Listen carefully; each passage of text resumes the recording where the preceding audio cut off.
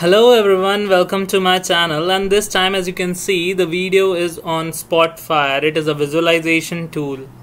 So just for you guys to know there are going to be a set of videos covering all the major functionality of this tool and a secret for you guys is that this tool is used in a big MNC a lot. Like every MNC have the customers and they use the tools which are used to visualize the data. So some of the example of those tools are Tableau, Power BI, and uh, SAP BO and Spotfire. So I'm making this video on Spotfire this time. Okay, just because I've worked and I've gained some knowledge on this. So another reason uh, for me making this video is when I exactly working on the Spotfire, there were very less tutorial videos of Spotfire on YouTube. Even on the Udemy and LinkedIn, O'Reilly, there were very less videos. So I thought uh, I can help people to learn by providing this free content over here okay so let's move on. So uh, very first question in your mind is what exactly the spotfire is. So it is a dashboarding and visualization tool that helps you to connect various various types of databases web services or even with the local files excels that you have in your system. And out of which you can visualize your data. And when i say visualize you can summary up in a table or i say pivot the the way we can do it in the excel or you can create a chart out of it. And uh, that's not at the functionality of the spotfire. You can do a lot of various things. There are few places where the out of the box features are also helpful in uh, spotfire like javascript visualization etc but that is a later part. I'll discuss all those things in the later part of the video. Okay and then next very good thing with the spotfire is earlier if if you guys know people used to visualize the data and do the charting etc in excel itself. But uh, that is not the good practice just because excel do not provide you any recommendation. Okay so when we talk about ai driven visualization is it is uh, like uh, the software itself provide you the recommendation that how the particular data can be visualized. Okay and then talking about the integration with the tibco cloud so what exactly TIBCO Cloud is? TIBCO Cloud is, Spotfire's cloud where you can save your data, DXP, etc. So integrating it with this TIBCO Cloud makes the Spotfire work very fast. Moving forward, what we have, let's see, we have versions of the Spotfire.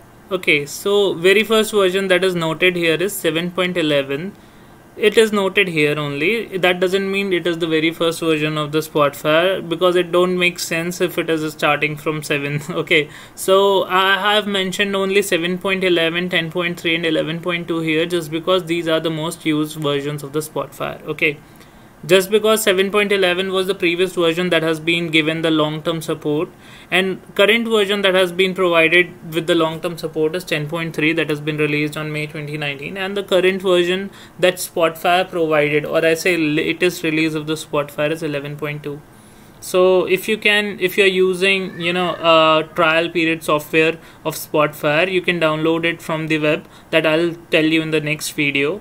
And that would have 11.2 or 11.3 version of the spotfire depending upon the release if they've released after this video or something. Okay.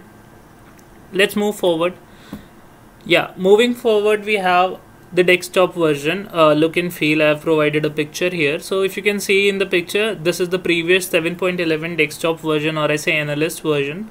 So just like any other BI tool Spotfire also have two versions.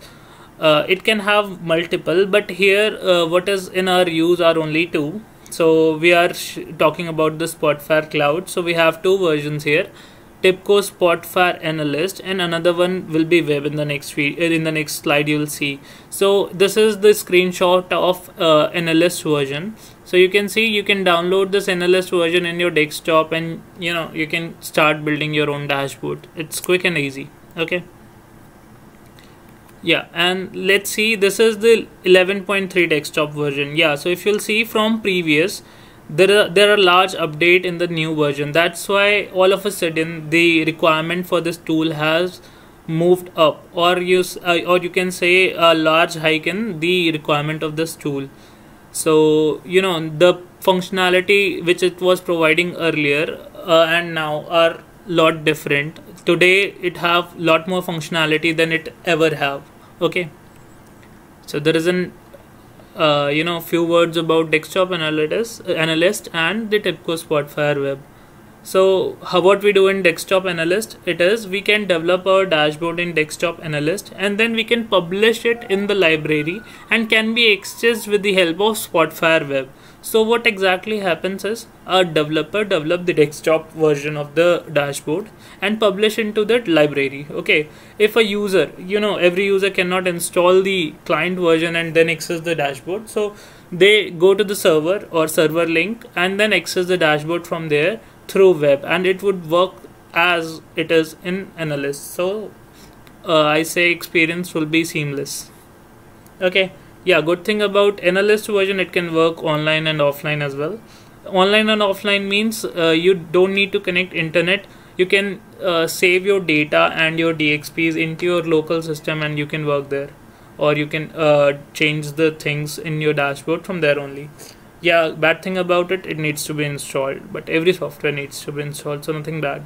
Let's move forward. What we have is yeah we can save our dxp into the server or i say libraries of the spotfire and then uh, we have to access those dashboard from those libraries. This is basically when you have different kinds of user having different uh, business and that can be accessed or given a different folders there okay there are a few examples of the dashboard one and two. So as you can see in those two pictures Spotfire provide lots of functionality color combination and that's not it. You have very uh, very good use of pick list and all. So that would be seen in the future videos.